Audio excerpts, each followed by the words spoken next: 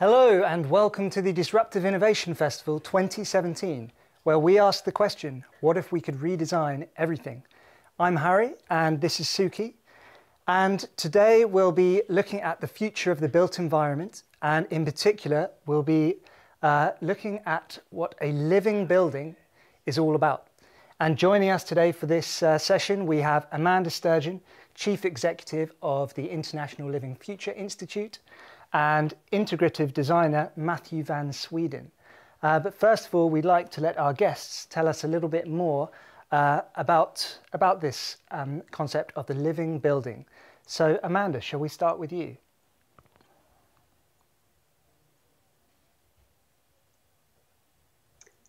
Well, hi. Uh, we, we couldn't quite hear the introduction there, but um, Hi, I'm Amanda Sturgeon. Is it is it time Colin, for me to? Yep, sorry, Amanda. Yep, sorry? I just uh, yeah. uh, passing it over to you to tell us a little bit more about um, the Living Future Institute. Okay, great. Happy to. Um, yes, yeah, so I'm Amanda. I'm the CEO of the International Living Future Institute. We are the home organization of the Living Building Challenge, as well as some other uh, programs. Um, So uh, just showing here on a slide that uh, we're best known for the Living Building Challenge program, and that's what we're going to focus in on today. But we also have other programs focused on communities and products, social justice, and zero energy. Um, the focus of the Institute is to really uh, create transformative change in the built environment and to be somewhat disruptive. Um, we, we're looking to really recreate what we think of as a living future and how our built environment plays a pretty key role in uh, transforming us to think differently beyond how we may build currently and towards um, thinking quite differently about our structures and, and how they behave for us. So, our mission as an institute is to uh, lead the transformation of communities that are socially just, culturally rich, and ecologically restorative. So, our focus is not just on uh, ecological solutions, but also on social and cultural solutions as well. And uh, you know, one inspiration for our work is the work of Buckminster Fuller, and the quote uh, that he has really sums up the work that we do here at the Institute: uh, "Make the world work for 100% of humanity in the shortest possible time through spontaneous cooperation without ecological offense or the disadvantage of anyone." And that really informs the sort of three pronged mission that we have at the Institute and how we see our work. So, the Living Building Challenge for us is not just a means to an end. It's not just about certifying projects and uh, thinking that we've done a great job. It's actually really about transforming how we think about our built environment. And the, the biggest um, step we can make, first of all, is we've been you know, bringing in some sustainable green initiatives into our buildings, making them a little bit better. But really, the core of our work is um, having people ask themselves the question, what does good look like? If you were to really design something that was good, what would that look like?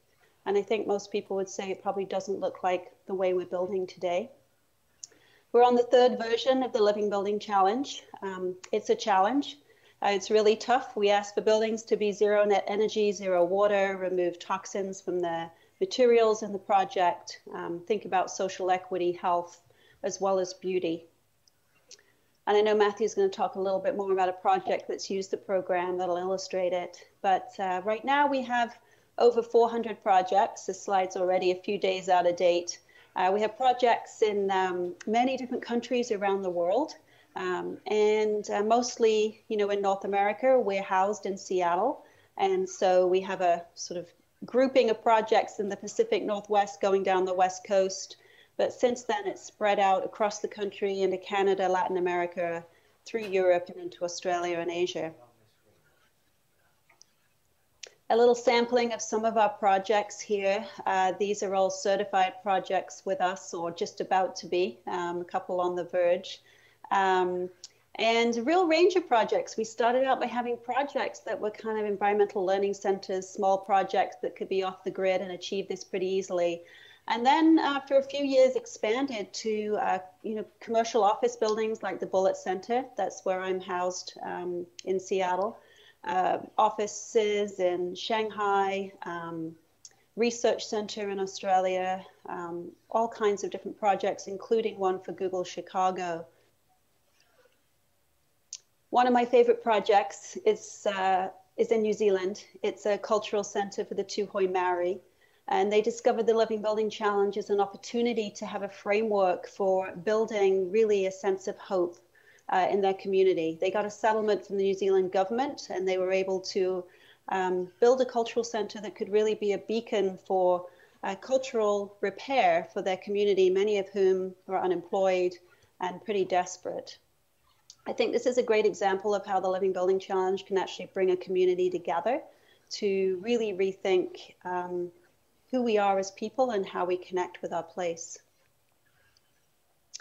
I have a new book, Creating Biophilic Buildings, which came out a few days ago. Um, just wanted to mention that about 14 of these projects are featured in here, uh, different projects from around the world that look at how we use nature to inspire um, the relationship that we have with nature and the buildings that we create as a result. So that's a little introduction to who we are with some sample projects. Um, happy to talk more about it after we hear from Matthew. Well, thank you, Amanda. It was really inspirational to hear, especially, especially to know that there are around 400 of these projects around the world. Um, also, really great to hear how buildings are being constructed to be regenerative and self-sufficient while still having a positive impact on humans and, and natural systems. So thank you for that. Mm -hmm. And I would like to now introduce Matthew VanSweden. Matthew has facilitated uh, the design of Michigan's first registered commercial living building challenge project, it is a tribal college for the Saginaw Chippewa Indian tribe. So Matthew, tell us more about this project. Great, thanks for the introduction, uh, Suki. As I said, my name is Matthew VanSweden. I'm a designer here in Grand Rapids, Michigan. Um, I work at uh, a firm called Catalyst Partners, and uh, we kind of design uh, spaces where all species can flourish, and it's kind of evident in the project. Um, I hope to share a little bit more about um, Catalyst Partners itself is a, a kind of a um, group of experts in high performance and restorative design, and we kind of have built um, the tools and, and, staff necessary to kind of deliver these sorts of, of projects into the future. Um, kind of in full disclosure, though, I'm a, I'm a recent transfer. I, I only was uh, hired at Catalyst a few months ago, um, and the project that I'll be working, talking about, um, came out of my work at Integrated Architecture, where I was the director of sustainability and uh, integrated itself as a full service architectural engineering firm out of Grand Rapids um, with a specialty in sustainable and restorative design. So the project, as was mentioned, um, was for the Saginaw Chippewa Indian tribe um, in, in, the tribal college that they had. Um, as you can see from this slide, has a, has a long history of looking for um, the right process to, to deliver a new facility. And so um, they looked at other rating systems that were out on the market, and their building committee kind of explored LEED, they explored SURF, they explored Green Globes, um, and none of them really fit uh, what their cultural heritage, um, what their values are as a, as a tribe. And when they went to the kind of architectural market, they had this goal of net zero, um, of a net zero building, and, and that's the RFP that they put on the market, and that's what we at Integrated responded to. And part of that work that we responded to was uh, hosting a, a, workshop on how to deliver and how to design to net zero. Um, and honestly, I cheated a little bit. Instead of hosting a, a whole day charrette, I actually invited them to a workshop um, that the Living Building Challenge put on, or the International Living Future put on regarding the Living Building Challenge. Um, my hope was that they, as an organization, um, would fall in love with the Living Building Challenge that I had. Um, and sure enough, they did. And quickly uh, after that, that day, kind of exploring the Living Building Challenge, what it means, they tasked me to put together a team. And, you know, I had a previous experience with the challenge, and I knew that integrated architecture, um, as talented as we are, we weren't the experts in all the, the kind of spaces that we need to kind of think about. Um, and so the, the, typical design bid build process kind of goes you a client has has a need for a building they hire an architect. Um, an architect goes through a kind of pre-construction or uh, schematic design phase to kind of put together a concept for what that building might look like. Um, and before one uh, of the building's kind of design resources are spent about 70% of its life cycle costs are already committed. So the Living Building Challenge really forced us to rethink this delivery method. And so we kind of built together a larger team, um, kind of addressing all the imperatives that we could identify. Um, and we, you know, we hired farmers, we hired growers, we hired um, biologists. We looked at, you know, hydrology and, and how water flows. We, we obviously had the landscape architects, but we also thought about material research and material building sciences. And we invited those individuals to the team. And I think the, the main lesson I learned is that the team is really crucial in delivering um, the level of buildings that you know the Living Building Challenge imagines for our future. So um, onto the, the project itself, I'm just going to kind of provide some high level overviews of, of the project, kind of give you some bearings, and maybe we can dive deep deeper into some specifics as we move through this um, dialogue. But this is the site, as you can see, the building is sited, uh, sited on the north side of the, the, site, and there's a large portion of the site that's dedicated to the growing of food. Um, about a third of the site. Um, and this is kind of an image of the, a rendering of the image of the um, entry showing some biophilic design principles, the resisting of the straight line, the water features. Um, this is the interior courtyard uh, showing sort of some passive cooling and heating strategies as well as some um, wastewater treatment solutions. Right. And this is uh, the, the money shot. This is the entry as you kind of curve come in and, and approach the site. Um, it's a rendering of um, the building complex as it's cited on this on a particular project. Um, and with that, I think I'd just like to kind of engage the rest of the um, dialogue from there. All right, thank you, Matthew. Great to hear how this is put into practice, and I would like to uh, let, let us let the audience know that um, we really would like to have your questions. We have a chat box here below the session. Feel free to put your comments, and Harry and I will uh, present them to Matthew and Amanda. So um, I would like to ask a question to Amanda. Uh, I was curious about the philosophy behind the Living Buildings Challenge. Uh, on the website, you talk about the flower being used as a metaphor, and um, I wanted to know why the flower and what's the significance behind it. Yeah, great question. So the metaphor of the flower is for us, you know, we, we envision buildings that could operate just as a flower does, that they could be pollution free, harvest all their own energy and water, be beautiful, uh, also um, be part of an ecosystem. And um, you know, we, we think that buildings could operate in the same way, uh, harvest their own energy and water, and not pollute uh, other people in the process um, or other ecosystems in the process. So, um, you know, the metaphor of the flower is it's not just, you know, it, it looks it looks pretty. It's also that we do think that uh, buildings that are greener or more sustainable, as they've been called, um, you know, are actually beautiful because often we've seen uh, green buildings are more energy efficient, but you know, I think if buildings are not beautiful, they they don't resonate with people. Um, they don't lift our spirits. They don't connect us to nature, and uh, ultimately, they won't last very long. Yeah. Is this only about beauty? The flower piece. Yeah. Um, well, no. I mean, I think it's also the metaphor of how uh, you know how a flower um, you know exists and gains its nutrients you know we we envision buildings that can do a similar thing mm-hmm. um, you know they they have we have all the resources you know enough sun falls on the planet in one hour to you know give us all the energy that we need a year you know so we know we have enough energy from the sun for example but we typically don't use it we think that should change for buildings mm-hmm. um, and uh, we think buildings should be starting to operate as you know more like living organisms um, and be more inspired and connected to nature and ecosystems. Right, thank you. Great.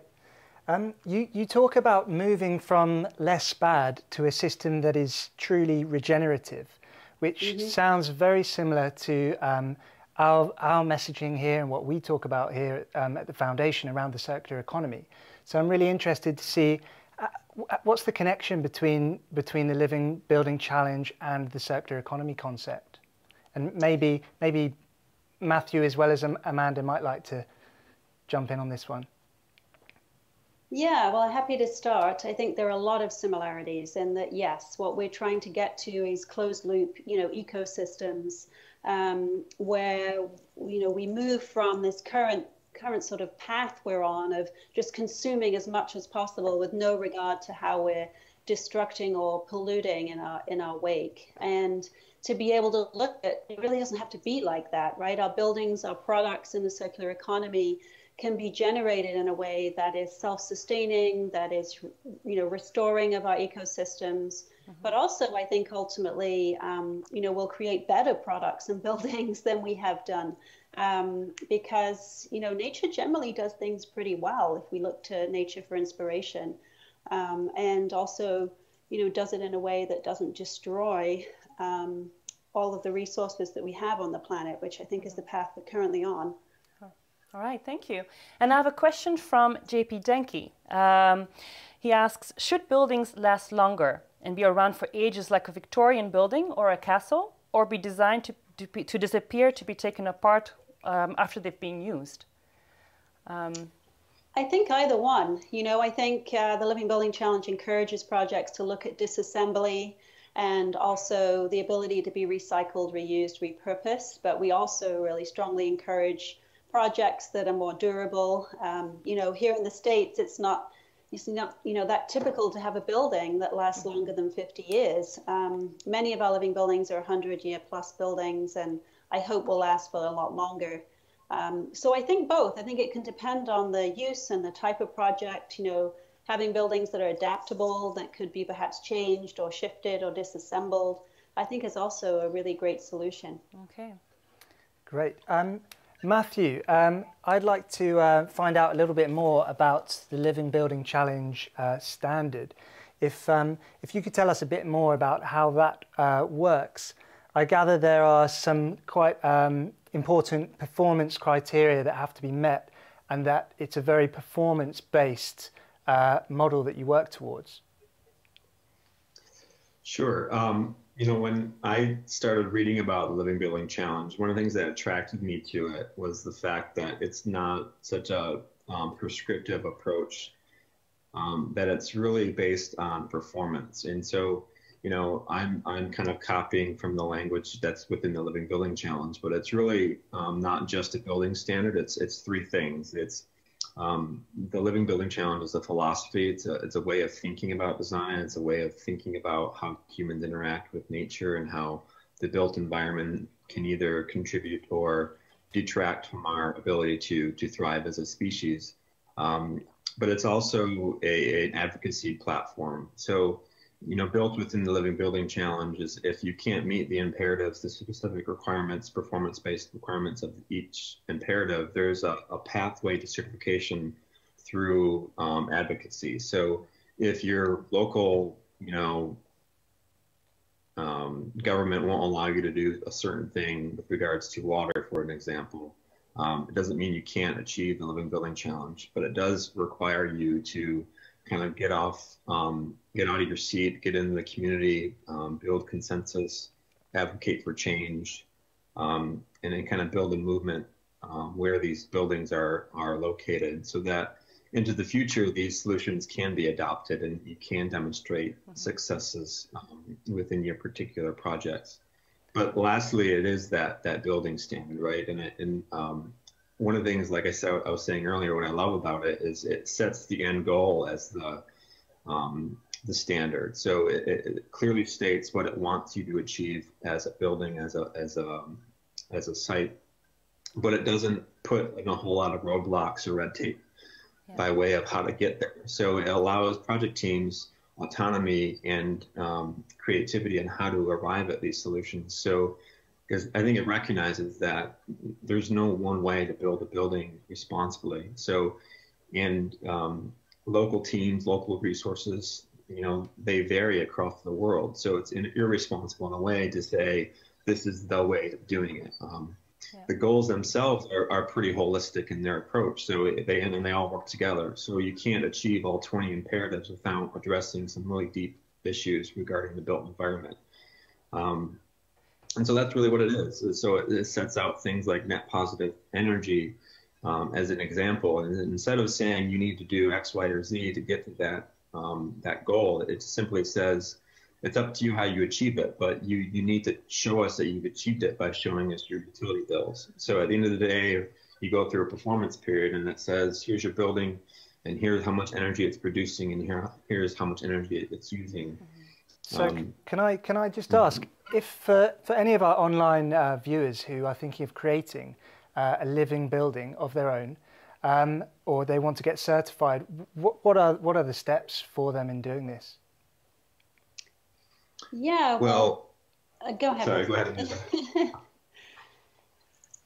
Well, the first step is to uh, download the standard. It's free. You can you can download the Living Building Challenge from our website and, and look through it, be inspired, and look through other case studies on our website and um, learn about other projects that have gone through it. And then if you decide that you want to uh, do a living building, you know, with the Institute, we actually have staff that are resources to help you through it. Um, you become registered as a project. Um, we have a sort of online conversational dialogue throughout the project. We get to know our project teams pretty well. Um, we also connect them to a community of other projects, and we're really about a movement. We have, um, you know, a movement of 30,000 or so that are either been engaged with a living building, a living community, a living product, or um, come to our events or have been, as Matthew said, starting to get engaged in their community about changing regulations or making living buildings more possible. Um, so if you're interested in doing living building, you become part of a movement, part of a community um, that can support you through it. All right. Thank you, Amanda. I have a question for Matthew from uh, the audience, from Kima Daniels. Thank you for your question. Uh, Kima is asking, can you retrofit buildings or is it just about new buildings? You, you can, and I would even say, um, in some extent, there's trade-offs with with synergies and with holistic approaches. But um, we we talk a lot about energy and water because um, they're pretty easy to understand. A lot of people understand them, um, but by far the most difficult part of the living building challenge is its materials petal. Mm-hmm. And um, what this does is it sets up um, what's appropriate ways of, of securing materials in which you build the building out of. And, you know, it identifies products that have um, chemicals that are known to be toxic to humans um, in some stage of their development, whether it's in their extraction, um, the, the manufacture, distribution, installation, um, or even after the end of life. But it, it, it, sets up a pretty rigorous set of requirements um, that these materials in a new building need to apply and adhere to, uh, but it allows some flexibility with, with existing buildings. Mm-hmm. So what I, what I usually tell people when, when they're kind of posing these questions of what, what should I do? Should I build new or retrofit? Um, the materials discussion becomes a lot more uh, I don't want to say easy because there's nothing easy about the challenge, but it, it, does. There's benefits to using an adaptive reuse building um, mm-hmm. because some of the existing materials will kind of automatically comply with the, the, the materials petal requirements. Yeah. But the trade-off is on the energy side because a lot of buildings built, you know, 100 years ago or so weren't um, thinking about the same sort of things we're thinking about from a thermal performance perspective. Um, and then also there there's there's products on the market that had been on the market years ago that we know now are pretty pretty toxic. So there's remediation that you have to start thinking about identifying toxic existing toxins within the building. Um, so I don't think it's it's always like an either or. Oftentimes there's just trade offs one way or the other. Um, and certainly, you know, I think it would be best just to kind of engage um, professionals in that when you're thinking about it whether or not you want to do a new building or, or renovate an existing one. And what would you say are the key challenges when you take on a project like that? Because it's a very ambitious project. You have 20 imperatives. Um, so, in terms of technology or uh, co collaborating with municipalities or with the locals, or to try to, uh, when it comes to local sourcing, what are the what are the key challenges you have experienced when building? For example, with the tribal college uh, experience. Right. Um, I mean, I think the easiest answer to that question is, is usually money. Like it, it, I think they have this perception that the living building challenge is, is expensive.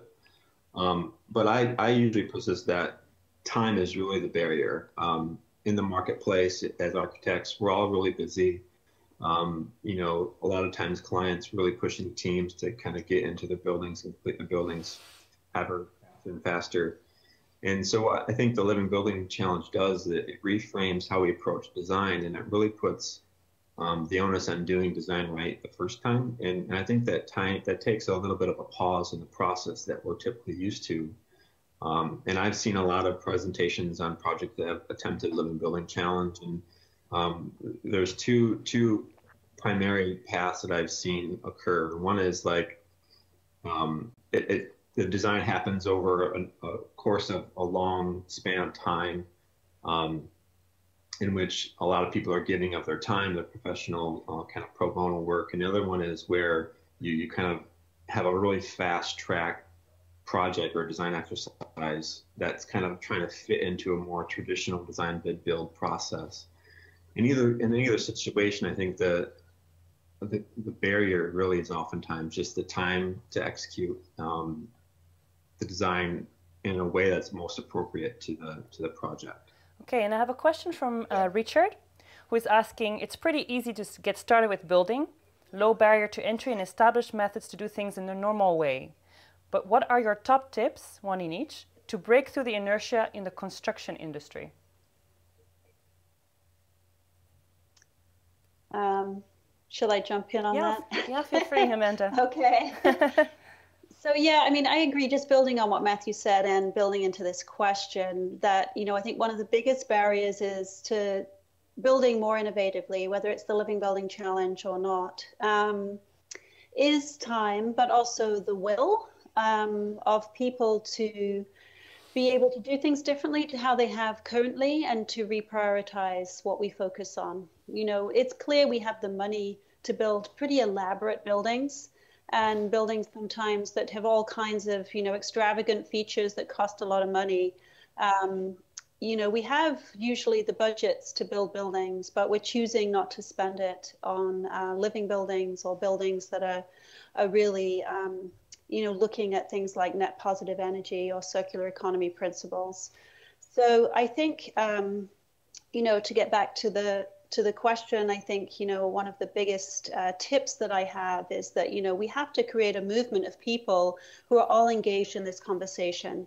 Um, and that's where I think there's great crossovers between like a circular economy community, living building community, you know, biomimicry communities, all kinds of communities that are all trying to, um, you know, tip our, our uh, society in a different direction. And um, I think like my first tip is to is to join the movement. And, um, you know, you're going to need a community to make this kinds of change. You can't do it on your own. Great. Um, we've got one more question from our online audience uh, that says here, is new technology, uh, such as software and, and uh, modeling technologies, um, are they making it easier to level up your design and architecture skills? And if so, how? So interesting to find out what the role of technology is in, in what you do. Matthew, do you, you know, want to take I, that one? yeah, I think that's an interesting, interesting question. And, you know, at Catalyst, we obviously have invested a large amount of time and resources in trying to uh, develop the right tools to kind of execute these sorts of projects. And, you know, oftentimes, though, it's not a, a technological issue. I think um, we use technology, we use energy modeling to um, demonstrate that kind of what we feel or what we found to be true in historical examples is actually still true. You know, when I was thinking about prepper, when I was preparing for this today, I was thinking about net zero buildings, and really, it's not a new construct. It's it's a pretty ancient one. You know, and and, and putting the idea or the kind of current building um, in perspective, air conditioning and, and, electricity is a relatively new phenomenon when it, when it kind of comes to the built environment. So oftentimes we find ourselves looking to historical examples of how indigenous or ancient peoples condition their, their buildings um, and learning from them and then applying that into kind of modern or, or contemporary projects. I think um, what's interesting is, is while we're looking back, we also often use technology of the, the day to kind of predict what's going to happen into the future by using those technologies. And that's where we get, you know, CFD, computational fluid dynamics modeling, we get daylight analysis, we get, you know, energy modeling to help us understand how our building is going to interact with the, the kind of climate in, in the, the place that it's occupied.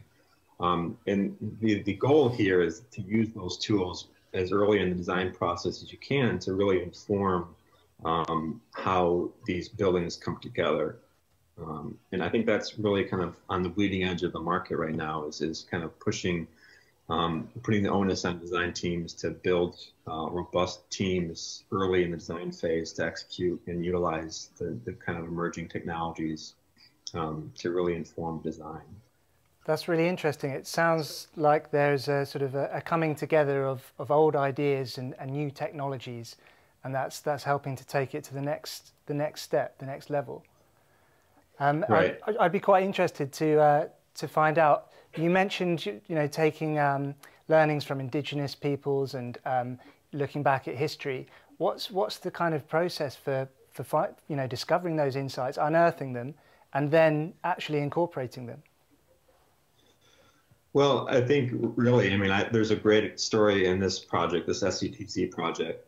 Um, and really, it's it's a I think it's um, a matter of just listening to uh, native cultures that have been around a lot longer than our European ones, and kind of listening to their wisdom and kind of quieting the Western ideals enough to listen to what kind of indigenous wisdom has to say and for the SCTC project, we looked at kind of historical tribal um, structures that they've used um, that predates, you know, European settlement.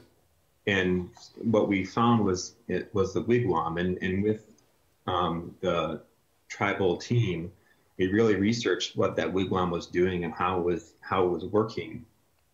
Um, and we found that you know it used a lot of the similar processes that we are going to employ in the project. So I don't have it with me, but we have a pretty interesting graphic. So we have an image of a wigwam. Um, and what it is, is it's like the shelter built out of um, found um, wood products, and then it's surrounded by a, a woven reed.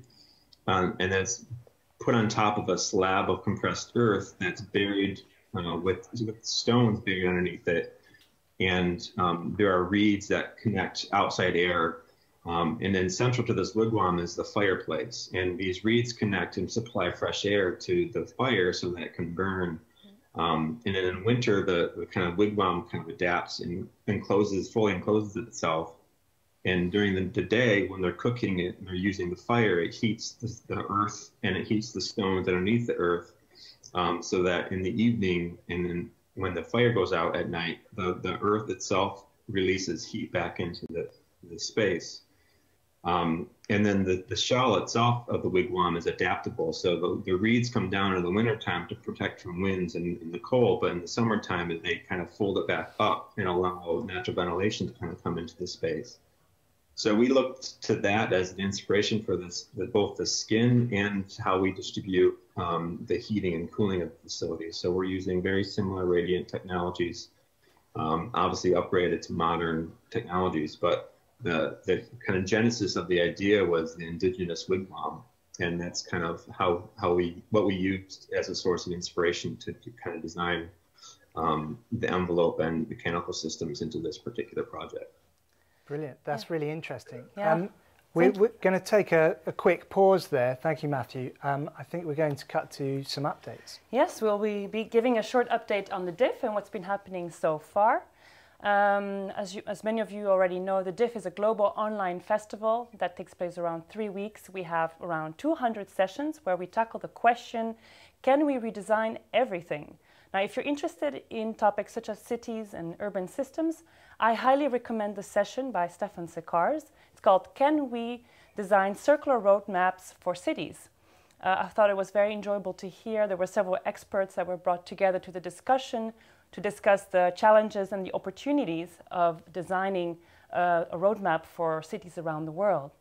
Next, after this session at 7 p.m. GMT, we have a session with uh, Ken Webster. It's called A Flow of Wealth or A Wealth of Flows. Ken Webster is a colleague of mine here at the Ellen MacArthur Foundation. He's been here since 2010. He has a background in economics education, in personal development and, uh, sorry, professional development and environmental issues. Um, he believes that economy uh, is abundant and that it's necessary to, for it to be designed in a regenerative and accessible way. So do not miss the, uh, the session. And for a completely different topic, if you've always wondered how to grow mushrooms, uh, in an international space station. Do not miss our session this Thursday um, on the 16th of November. Uh, there will be students from the Australian Science and Mathematics School. They will come together and they will share the experiences on how to grow mushrooms in microgravity. And to our audience uh, online, we would love to hear from you. So please um, go to Twitter, use hashtag thinkdiff.co, and let us know which sessions you have enjoyed the most. And thank you. Okay, um, thanks, Suki.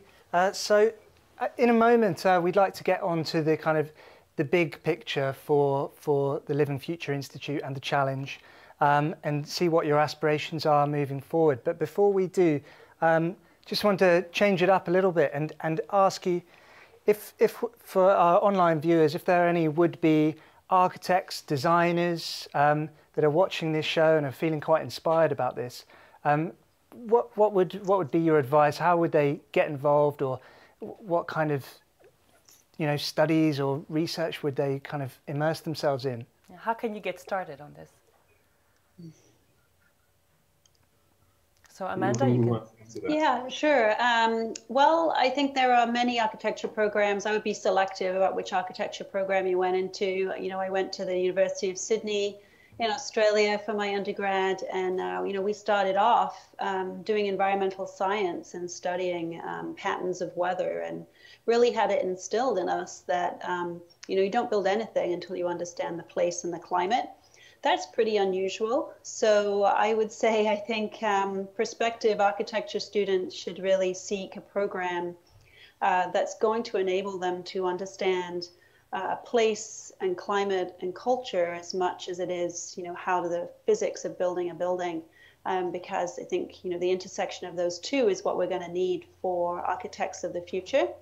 Um, so yeah, there are, there are a few programs, uh, I, but I would be selective about, you know, your education and make sure that it's broad enough to be able to come out and to um, be able to build in uh, buildings like this. Mm-hmm. That's great. It sounds like your experience at, at, university and studying that it was a very systems-based perspective, incorporated a lot of understanding of natural world systems and, and the interconnections between us and the built environment and, and the natural world. Um, we, is, that, uh, is that definitely a huge part of what you do, that systems thinking? Is that integral? Yeah, it is, absolutely. I think you can't build a living building or a living community without a systems thinking approach. And um, unfortunately, you know, a lot of architects are graduating uh, without that and with a very mm. sort of singular focus. Um, and I think systems thinking yeah, is, is the core of this work. Uh, we have to be able to think holistically. We have to be able to see how one piece of a system, whether it be an ecosystem or a building system, influences the other um, or complements the other. And um, yeah, I think uh, deep, deep sort of education or uh, studying in systems thinking is pretty invaluable for architects of the future too. That's, Thank you. That's good to hear. Sorry, Suki. That's uh, yeah, because uh, a big part of our our um, our work in the education programs here at the foundation is is rooted in systems thinking and and actively promoting that. So that's good to hear. No, yes, and I uh, just talking about the systems thinking. Uh, what I thought was really interesting about the imperatives and the performance criteria is that there's also quite a focus on community engagement. Um, so, for example, um, you have a performance petal called equity, and uh, where you talk about social uh, justice and democracy, um, about creating uh, human scale in human places, hum humane places. How do you incorporate that? How do you quantify it? Uh, how do you engage communities to be involved and to have that expressed in buildings. It seems quite a, a challenge to do that and quite different to what we find in other construction projects. Yeah, absolutely. You know, we we included the equity petal in the Living Building Challenge really because we knew we needed to have these kinds of conversations. Um, you know, it's a journey for us in terms of broadening how we do that because, as you say, Suki, it's really it's really complex. Um, and you know, with one building, you may or may not have the influence or ability to really shift a community, or it's um, you know the equity of that community as much as you would like. Uh, so, you know, the, the first sort of versions of our equity requirements are really focused in around what the, you know, we have a just label that's required for uh, the architecture, design, construction teams that, um, you know, requires them to go back to look at their own social justice framework for their company. You know, do they have equitable wages? Do they have living wages? Do they, um, you know, have uh, gender pay equity, for example? Um, you know, is there health and safety requirements at their organization, all kinds of aspects of social equity. Because we do think that, you know, if if the folks designing and um, constructing these buildings start to think about their own, um, you know, their their own sort of treatment of their of their employees and colleagues, that you know that can start to shift thinking a little bit. Um, but yes, we also do have requirements in there for rights to nature so that a project cannot, you know, eliminate the ability for others to access waterways, for example, or public spaces. Um, that we can't start, you know, creating spaces that are gated and not accessible for all. Um, so I would say, you know, our equity petal is really sort of touching around the edges of what, you know, one building can do. Um, when we brought out the Living Community Challenge a few years ago, we felt that that has greater opportunity to really sort of influence an entire community or neighborhood by looking at sort of access to community resources, for example. And for Andrew, I have a question in terms of the tribal college. How how are the values uh, of the tribe incorporated uh, in the building? So, sorry, Matthew. Matthew? We've lost him. Oh. He might be talking. Sorry, I was I was on mute. Okay. okay. Um, what's what was really interesting about this particular project is is that we looked at the Living Building Challenge, and one of the first things we did is we had kind of a um, a visioning session with as many stakeholders and mm-hmm. shareholders as we could get together, and there was probably a room of over 30, 40 people um, from students to faculty to design professionals. Mm-hmm. And one of the things that we try to do is come up with guiding principles of this particular um, project. Mm-hmm. And um, it, it was the, the foundation ended up being um, seven um, grandfathers, and that's a, a tribal framework. Mm-hmm. Um, and they identify seven kind of ways of being or, or values or virtues, um, and we kind of assigned each of those seven grandfathers with a way of thinking about design. And it's things like um, love, respect, wisdom, and and how do we Im- imbibe like the design process with these uh, human principles and values. And what really happened was um, because that's such a, a, a cultural culturally significant framework. Um, it really forced the team to think through every decision. You know, we're already attempting the highest or the most rigorous design standard in the world, which is the Living Building Challenge. And I guess we felt that it wasn't um, difficult enough, so we added a whole different layer of of um, tribal specific guidelines that that the team um, had to go through. And what it ended up doing is that it kind of weeded out solutions that didn't really fit um, and allowed the project team to hone in on, on, on, solutions that were really integral to the tribal heritage. Um, and that's kind of where we got the wigwam from. That's kind of where a lot of the solutions came from is this, this, this idea of the seven grandfathers. Brilliant. Um, thank you, Matthew. Uh, I'd like to put a quick question to, to the both of you now. Um, dying to hear what is your favourite living building challenge or living building example um, and why is it your favorite? Oh, for me, I guess I already gave it away in that I showed the Tūhoe project in New Zealand, one quick slide of that in, in my slides. And um, I think it's because not only does it reach incredible environmental performance goals um, by being certified to the Living Building Challenge, but it really demonstrated a way that um, you know these ancient cultures can be restored, uh, rejuvenated, and um, really, I think, inform uh, the way of the future for for all society. And um, I think that project exemplifies, um, you know, all aspects of what I think of as a living future that I'd want to live in. And Matthew? I'm, I'm glad I came up with two because that was mine as well. Um, my, my, my second is really the Omega Center for Sustainable Living. Um, and the reason for that, I think, is because it, it, it, of all the projects that I'm aware of, most completely challenges existing building typologies and how we think about certain types of buildings. Mm-hmm. And so that particular project is a wastewater treatment facility. And you wouldn't think of it by looking at pictures. And it really reimagines how infrastructure that's so crucial to human development, such as wastewater treatment, can really be framed in a more elegant solution. And so um, for me, it's one of the more hopeful solutions because it, it thinks about even kind of the ugly infrastructure that engineers kind of geek out about and makes them really beautiful and accessible and not just an eyesore that we have to clean up later um, through the lens of environmental justice, but it, it really kind of puts um, important infrastructure on the same sort of level as um, some of the more beautiful buildings that we surround ourselves with. So right, thank you, uh, Matthew. I have a, a last question, uh, and this is for Amanda. Uh, I wanted to go back to your presentation where you uh, described the goal of the Living Building uh, uh, Challenge and the Living Future Institute.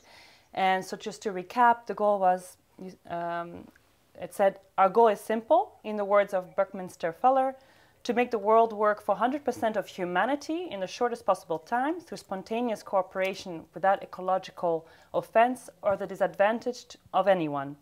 And my question is, is it really that simple? And can we really make a world that works for 100% of humanity? And um, how can we achieve such a vision, such a bold and ambitious vision? Yeah, well, I think it has to be possible. and uh, is it going to be easy? No, no, for sure not. Um, but uh, I think there are enough of us that uh, have a similar vision that are working together uh, to to make this re- a reality.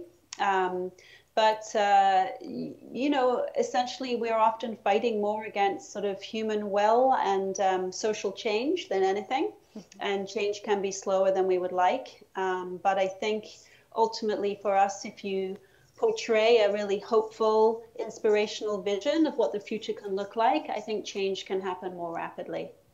Thank you. Thank you for your answer. um, I'm trying to look if there's some interesting comments from the audience. I can maybe. I have one from Daniel Hargan. Do standards put a threshold or constraint on innovation? Maybe that's the nice one for Matthew, and then we will have to close uh, the discussion. I, I would say it's the opposite. I would say this particular living building challenge, because it's performance based, really opens up the doors for true innovation. Um, I think oftentimes we, we you know, we, we know what we kind of need to do, and it's just really how to get there that's really the barrier. Um, and what I love about the Living Building Challenge is that it, it, really kind of breaks down those barriers and encourages project teams to truly be innovative and come up with solutions that maybe they, the Living Building Future Institute, wasn't even thinking about when they wrote the standard. Um, so far from it, I think, if anything, the standard um, lays the groundwork for, for true collaboration and true innovation in the architectural marketplace. Brilliant. Uh, thank you, Matthew and Amanda, for joining us for this very interesting discussion and sharing your work. Um, it's really, really inspiring to, to hear about a future that is, that is regenerative and positive and that we have people like you guys working on this. So thank you.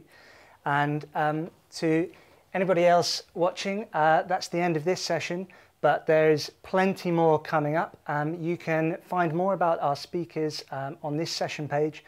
You can read their biographies and you can uh, engage with the DIF. There's lots more to come and you can join in the conversation at hashtag ThinkDiff. Uh, I'm Harry and this is Suki and thank you very much to our guests. See you next time. Thank you. Bye-bye. Thank you.